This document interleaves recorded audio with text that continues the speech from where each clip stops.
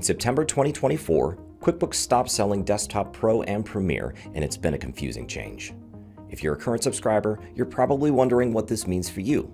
Let's break it down. If you still have QuickBooks 2021 and earlier on a non-subscription license, it'll technically keep running. But over time, it'll stop working with new operating system updates. Plus, you'll lose control to payroll, credit card processing, and bank feeds. That's a risky path and we don't recommend it. If you currently have a Pro or Premier subscription, you can continue to renew, but I don't expect those to be supported much longer. QuickBooks Enterprise remains available, but its cost and complexity often exceed what smaller businesses need. Bottom line, if you're still on Pro or Premier, adopting a new vendor is your best bet.